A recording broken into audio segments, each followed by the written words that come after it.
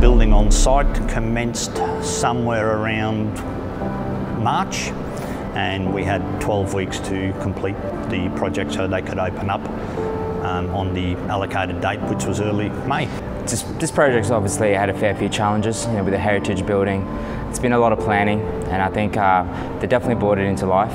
Uh, we I think we were quite demanding as a venue um, and also as a group. Um, I think, you know, looking around, um, they definitely had a solution for every problem um, and they made it come to life.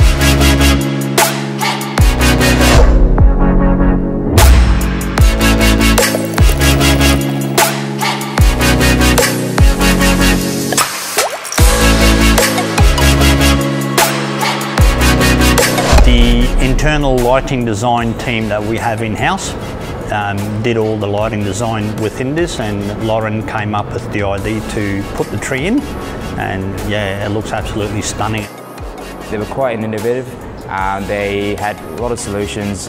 Um, they, you know, they definitely pushed the boundaries of construction um, and then make this happen.